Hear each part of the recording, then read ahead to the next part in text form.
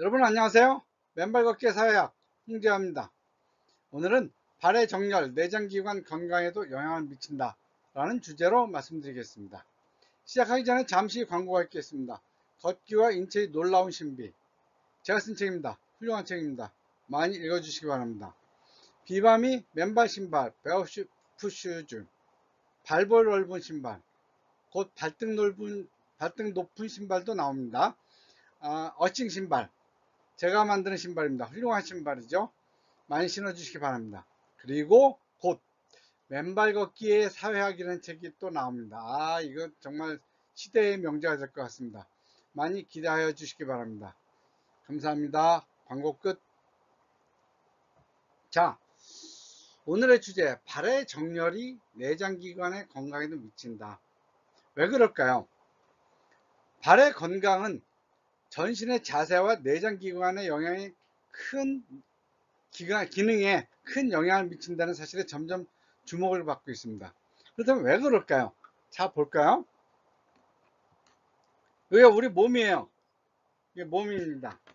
그리고 이게 발이에요. 발입니다. 그런데 이 발이 삐뚤어져 봐요. 그럼 몸도 기울게 돼 있죠. 그리고 옆으로도 삐뚤어져도 이렇게 옆으로 삐뚤어져도 몸이 기울게 돼 있어. 그럼 이 몸이 기울게 되면은 그 안에 있는 우리 몸 전체 자세가 삐뚤어지게 되잖아요. 그러면은 어때요? 우리 몸에 매달려 있는 내장 이런 것들도 삐뚤어지게 돼 있죠. 그리고 척추와 골반의 정렬이 삐뚤어지고 그러니까 기초가 삐뚤어져 있는데 그 안에 있는 것들이 똑바로 쓸 수가 없죠. 건물도 그렇잖아요. 건물이 삐뚤어져 있는데 그 안에 뭐 책상이나 뭐 형광등이나 이런 것들이 똑바로 매달려져 있을 수가 없잖아요. 발의 아치가 붕괴되거나 평발인 경우 이런 정렬이 무너지면서 내장기관의 위치와 기능에도 부정적인 영향을 미친다는 거죠. 아, 이거 순서를 저기 안 했구나.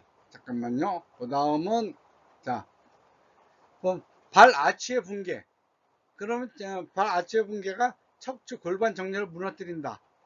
이건 무슨 말이냐면 발에는 충격을 흡수하고 체중을 균형 있게 분산하는 아치 구조가 있습니다.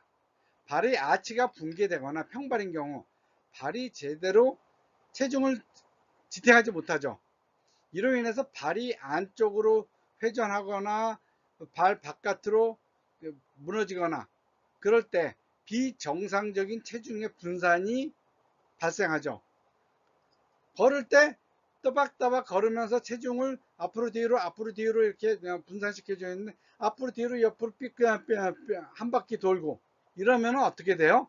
다, 다리, 골반, 척추에도 과도한 하중이 걸리게 되는 거죠. 척추에 원래는 가면서 어, 체중이 앞 뒤로만 분산이 돼야 되는데 이게 앞 뒤로 양옆으로도 분산이 되면은 몸 우리 몸이 제대로 버티겠습니까? 그렇기 때문에 아, 발 아치가 무너지면 척추와 골반의 정렬이 이상이 생기고 척추와 척추가 과도하게 구부러지는 현상이 나타날 수 있죠. 이와 같은 자세의 변화는 내장기관에도 영향을 미치는데 특히 이 복부 압력이 변하면서 소화기관인 위와 장의 압력도 변하면서 압박을 더 크게 받는 거죠. 그 다음은 척추가 구부러지면은 위와 장도 압박돼서 소화기능 장애가 초래된다 그런 거죠. 발이 아치가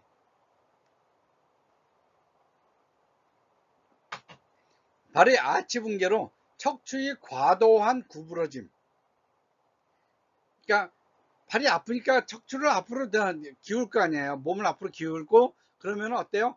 허리가 과도하게 꺾이면서 복부가 앞으로 돌출되는 거죠 복부가. 그래서 위에 장을 압박해서 소화 기능을 장애 를 일으키고 위산, 역류, 소화불량, 변비 등이 생길 수 있죠.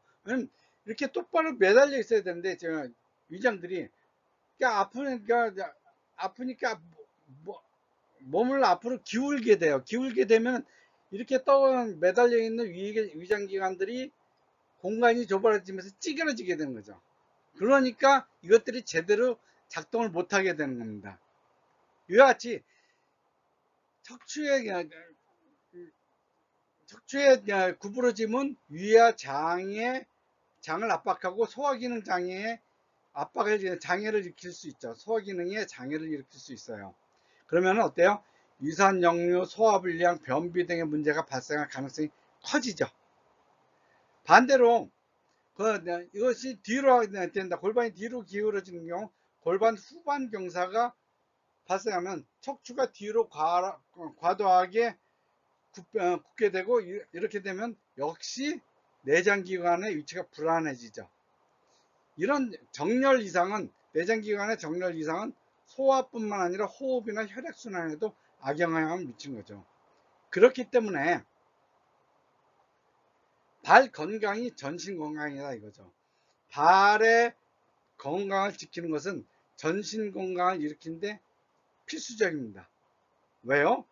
평발이나 발의 아치 붕괴를 방, 방, 방치하면은 장기적으로 척추골반이 척추골반이 앞으로 기울거나 뒤로 기울거나 옆으로 기울 옆으로 기울게 되죠.